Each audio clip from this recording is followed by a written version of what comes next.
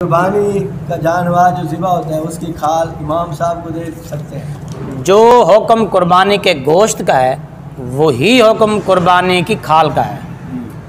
इमाम साहब को गोश्त दे सकते या नहीं दे सकते दे सकते हैं। कुर्बानी का गोश्त अगर इमाम साहब को दिया जा सकता है तो कुर्बानी की खाल भी दी जा सकती है। कुर्बानी की खाल वो मैंने अर्ज़ किया ना जो गोश्त का हुक्म है वही का कुर्बानी का गोश्त आप खुद खा सकते हो या नहीं खा सकते? खा सकते अपने अज़ीज़ व को खिला सकते हो नहीं खिला सकते। दोस्त आबा को खिला सकते हो या नहीं खिला सकते? गरीबों को दे सकते हो या नहीं दे सकते? तो खाल का भी यही हुक्म है।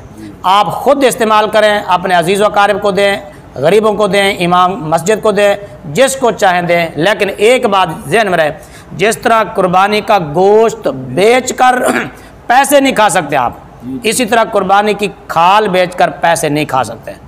अगर गुरु- कुर्बानी का गोश्त बेच दिया तो उसका सदका करना वाजिब। कुर्बानी की खाल बेच दी तो उसका भी सदका करने वाजिब। और बगैर बेचे बजाते खुद खाल को जिस इस्तेमाल में मर्ज़ी चाहें इस्तेमाल में ले आएँ।